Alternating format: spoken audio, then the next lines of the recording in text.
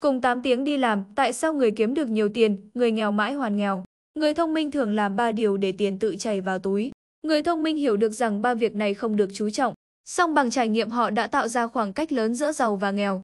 Có thể đôi khi bạn xuất hiện những câu hỏi như thế này trong đầu, cùng 8 tiếng đi làm, tại sao một số người luôn kiếm được nhiều tiền hơn mình? Phải chăng họ đang nắm giữ bí mật nào đó?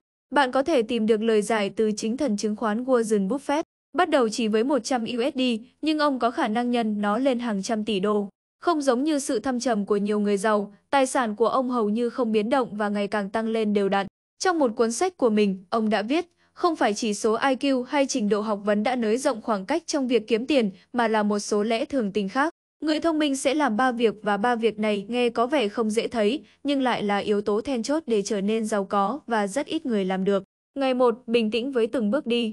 Buffett từng nói, muốn hiện thực hóa ước mơ, bạn phải điều chỉnh tâm lý, từ bỏ những suy nghĩ cơ hội, bắt đầu từ những điều nhỏ nhặt và không ngừng nâng cao năng lực của mình ở các bước cơ bản nhất. Trong một xã hội phát triển như vũ bão, con người không tránh khỏi những bốc đồng. Song thực sự tế sự nóng vội sẽ càng chỉ khiến bạn bị xa rời thành công. Thay vì tìm lối tắt để thành công thì hãy tận dụng những kẽ hở nhỏ càng nhiều càng tốt. Bởi việc đi vòng đôi khi có thể khiến bạn mất đi nhiều cơ hội và không tận dụng hết được khả năng của bản thân. Tất yếu thu nhập của bạn cũng không thể tăng. Nếu làm tốt từng bước và có suy nghĩ thấu đáo trong mọi việc, điều bạn nhận được sẽ là sự tích lũy về các kỹ năng và kinh nghiệm chuyên môn.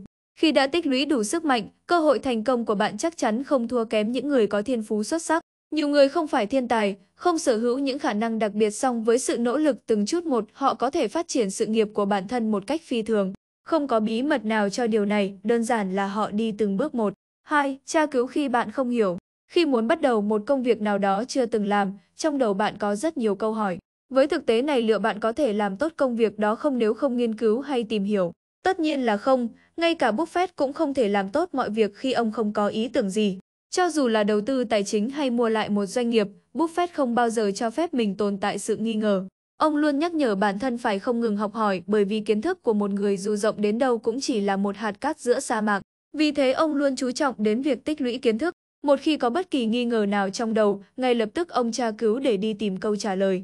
Khi trong bạn xuất hiện sự nghi ngờ hãy tra cứu ngay, đặc biệt là những việc liên quan đến lợi ích của bạn. Đừng chờ đợi, đừng để nghi ngờ tích tụ. Nếu cứ để nghi ngờ tích tụ cho đến khi có việc quan trọng phải giải quyết, thì cách tiếp cận kiểu nhồi nhét thường sẽ không mang lại hiệu quả như ý muốn. Anh Sở Tanh từng nói, con người giải quyết mọi vấn đề trên thế giới bằng sức mạnh và trí tuệ của khối óc.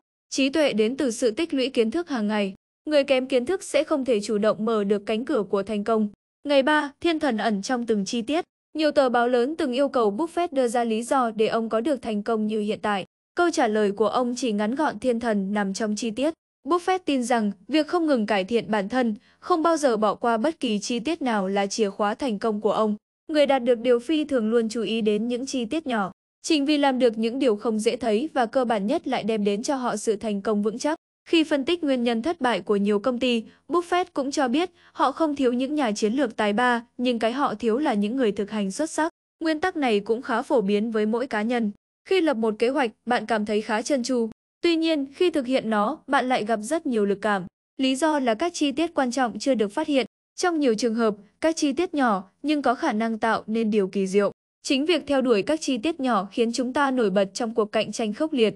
Trong cuộc sống vạn vật đều được làm từ những chi tiết nhỏ. Trong khi đó, chúng ta luôn xem nhẹ những việc tưởng chừng như không đáng kể. Song thực tế chính những việc nhỏ đó lại quyết định sự thành bại của bạn. Hãy tỉ mỉ từ những điều nhỏ nhất và kiên nhẫn từ những việc cơ bản. Bạn sẽ tìm được ra cơ hội thành công trước người khác.